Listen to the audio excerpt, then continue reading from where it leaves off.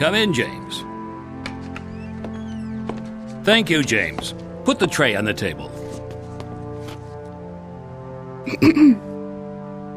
Pardon me, ma'am. Do I know you? My name is Kate O'Hara. I'm here to warn you. To warn me, ma'am? About what?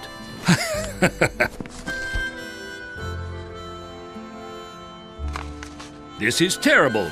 Where did you get it? We were blackmailed by Mexican bandits. When we confronted them in Blackwater, we found the documents that lie before you now. And I'm supposed to believe you?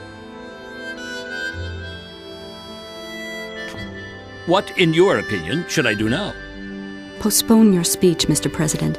Give my friends some time to find the assassins. James?